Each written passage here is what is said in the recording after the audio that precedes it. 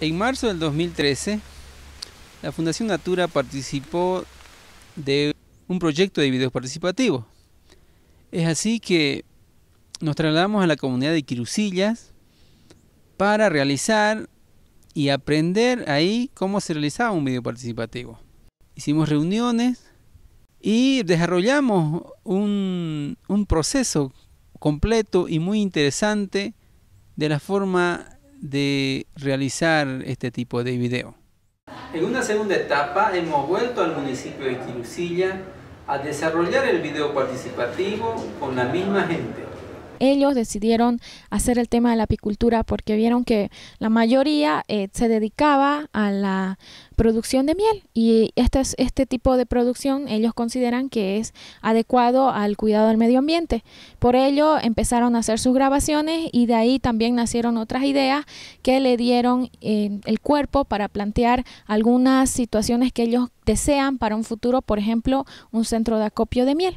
Como resultado de todo este proceso de video participativo se logró tener un producto final que es este video y eh, en el mismo se refleja, se muestra al municipio de Quirusillas como un municipio productor de miel, ¿no? que está compitiendo con los mercados de los valles cruceños y también a nivel nacional.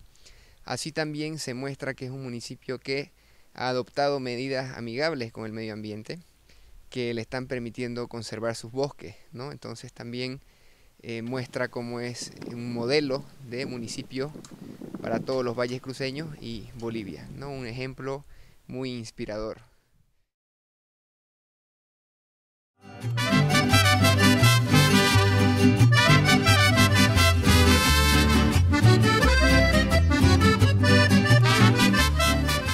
Nosotros aquí en Quirusilla, nuestra principal economía es nuestra siembra, nuestra agricultura.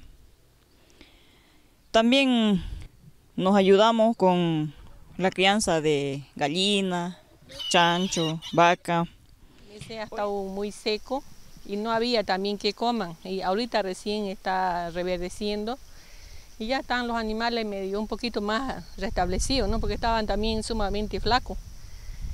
Y, y estos son nuestros animales que nos dan leche y también los recursos para sobrevivir, ¿no? También vendimos así para pasar nuestros días, porque no hay, digamos, digamos otra manera, ¿no? Porque nuestra siembra se nos ha secado y, y, y cuando hay necesidad, digamos, de plata, entonces, digamos, tenemos que vender una vaca para sobrevivir.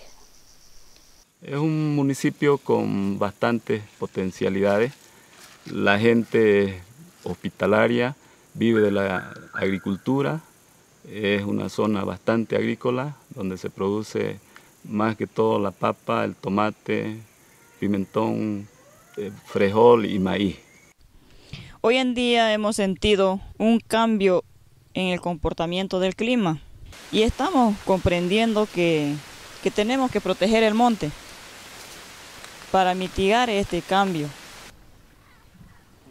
Con la ayuda de instituciones nosotros estamos protegiendo los bosques y sobre todo estamos dedicándonos a las actividades responsables con el medio ambiente, como por ejemplo la apicultura. Eh, bueno, a mí al principio no me gustaba esto. Y em, a mis niños les gustaba comer miel. Y entonces yo tenía que comprarle la miel porque a ellos les gustaba comer donde después me invitaron a una reunión de apicultores. Empecé trabajando con esa cajita. Este, le puse abeja, este, ya de esa cajita empecé a cosechar miel, donde ya no compraba la miel. Ya tenemos una asociación con algunos equipos para trabajar con la miel. Vendemos miel y también la procesamos.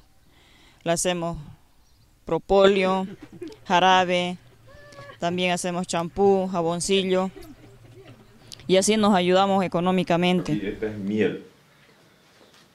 Y de la miel yo aquí preparo, yo lo preparo, este es un jarabe que es para la tos, para las amíbalas que están inflamadas, este es la tos. Para la tos, ¿no? Jarabe, la miel. De la miel sale también aquí propóleo. Este es un propóleo, también es un jarabe. Esto lo utiliza para la gastritis, úlcera, estomable. En este momento yo tengo 15 cajas de abeja y es una fuente de ingreso muy importante. Ahí nos ayudamos más para sostener nuestra familia. Aumentando nuestras cajas y también aprendiendo a hacer división de cajas, hemos ido aumentando para poder sustentarnos y vimos que es muy importante. Da una fuente de ingreso para nuestra familia y también para la alimentación de nuestros niños. Así ya no tenemos, digamos, que gastar mucho cuando mis hijos se enferman. Yo preparo ya el propóleo y les, les doy a ellos. Ya poco es lo que visitamos el hospital por cuestión de resfrío. El gobierno municipal este tema ha asumido y ha adoptado como parte de una política estratégica de desarrollo sostenible de nuestro municipio. Es un trabajo que ya tiene varios años realizado en nuestro municipio con la participación activa de las comunidades, de los beneficiarios, de la parte alta de este bosque tucumano que pretendemos preservar, cuidar, siempre marcados en el, en, el desarrollo sostenible. Tengo 10 hectáreas en conservación y es toda aquella parte del bordo ese para este lado y al otro lado, este lado es mío y al otro lado es de mi hijo, son 5 hectáreas. Yo tengo en conservación más o menos unas 50 hectáreas. Eh, yo he puesto en reservación de los bosques más o menos unas 50 hectáreas. bueno, yo he puesto también en, eh, va en conservación de, de este, digamos, de los bosques, sería unas 10 hectáreas. Bien, yo por conservación de bosque tengo 5 hectáreas. Y la conservación de nuestros bosques es importante, porque de ahí tenemos más agua, también la abeja tiene más para sacar la miel, y así podemos seguir conservando muchos bosques más y nos pueden apoyar en esa parte para que sigamos creciendo con nuestras cajitas. No lo habíamos advertido, estamos a punto de convertirnos en un municipio productor de miel. Y eso obviamente da la posibilidad de trabajar ya en el otro ámbito que es planes de negocio, comercialización, y esa será la próxima etapa y el próximo desafío, construir quizás un centro de acopio. Son los desafíos inmediatos que nos toca asumir y que asumiremos porque es parte de la estrategia política de desarrollo del gobierno municipal.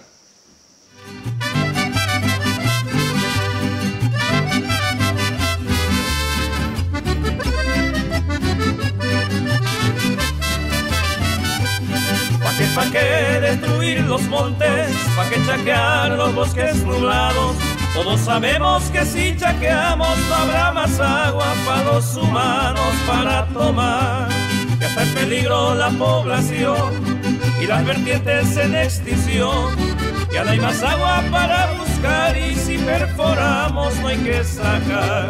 Te has preguntado qué estará pasando, mira hacia enfrente solo ves chaquear el resultado de los desmontes somos